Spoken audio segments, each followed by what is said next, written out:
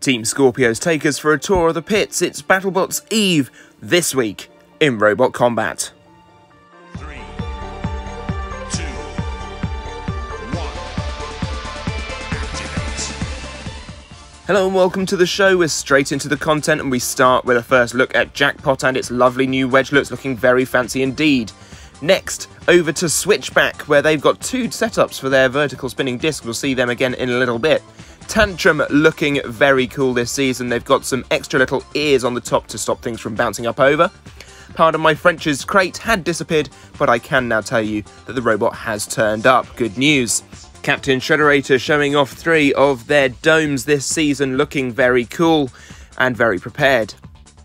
Top plates are the key for Team Pain Train, whose graphics this season are just on point. Fantastic.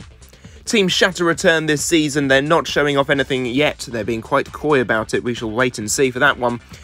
Team Endgame come every year apparently with a flat pack set of their robot, so they've got a build ahead of them. This is Glitch, a new robot we will talk about in just a little bit as well as we get a look at the CAD. Deadlift return this season with a new clamping and lifting setup, which should be exciting.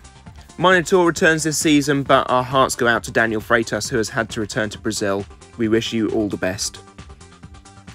Malice returns this season looking slightly less changed than we thought it would. More on that in just a little bit. Deep Six is back, and this thing is massive and very cool indeed. Looking forward to seeing in action. Four tombstones come to BattleBots this season. Hopefully, that'll be enough to see them all the way through. And finally, Skorpios looking ready for action as well with several different built chassis. Make sure you go and check out the Skorpios BattleBot YouTube channel for more behind the scenes videos coming straight from BattleBots Las Vegas. Exciting news for Jaeger fans as they have confirmed that they are competing at this season of BattleBots. The cluster bot looking very colourful indeed with a new team lineup of Andy Russell, Ralph Schneider, and Ed Hodges. Unfortunately, the original team cannot make it. Copperhead returns looking reasonably unchanged, but I know that there has been a lot of work happen under the hood, so make sure you go and check out Robert Cohen's channel for more details. Back now to the aforementioned Glitch, who have shown off a CAD video of the new Egg Beater robot. This thing looks awesome. And a full on look at the completed Switchback, who we've seen updates of regularly over the last few weeks on the news. It looks great. Defender has been out in the driveway doing some drive testing. Jason Vasquez behind the sticks.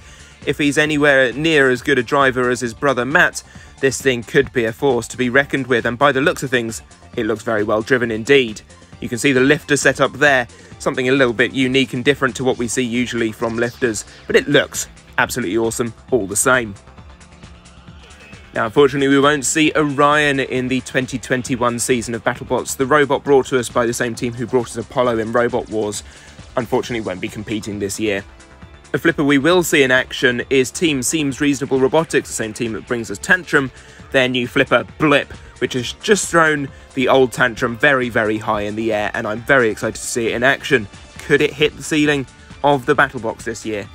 Maybe. Of course, earlier on we mentioned four tombstones coming to this season of BattleBots.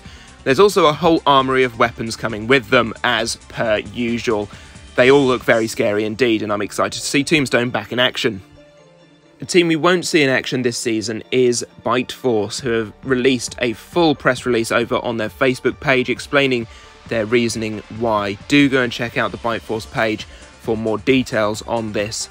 It is worth a read. You can find a link to it and all of the other stories in this week's news over on the World of Woodrow Facebook page.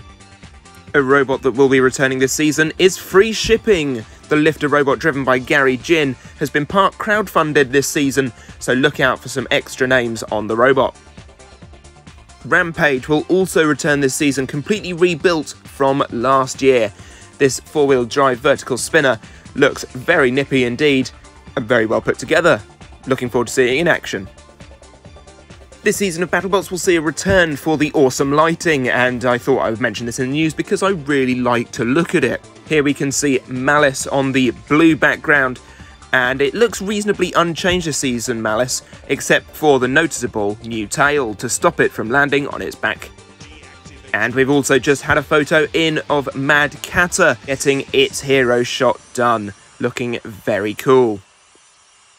Now, I don't usually talk about beetle weights on the channel, however, RoboNerd 2021 will have an excellent number of Classic Wars replicas competing, thanks in part to Team Asimov's Loophole, who are bringing Recyclops, Gemini, Stinger, and Chaos 2 replicas. Simon Harrison is bringing back King Beetle, which has been upgraded from its 2019 outing at RoboNerd. Looking forward to seeing that in action.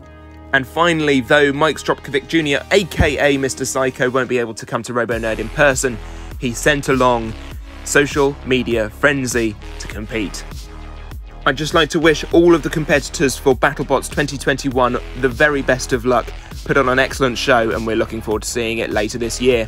Thank you all for watching. I hope you enjoyed this video. If you have, give it a like. Do subscribe to the channel if you are new. Be sure to check out World of Woodrow over on Facebook to keep up to date with all of the latest news, and I shall see you next time. Bye bye.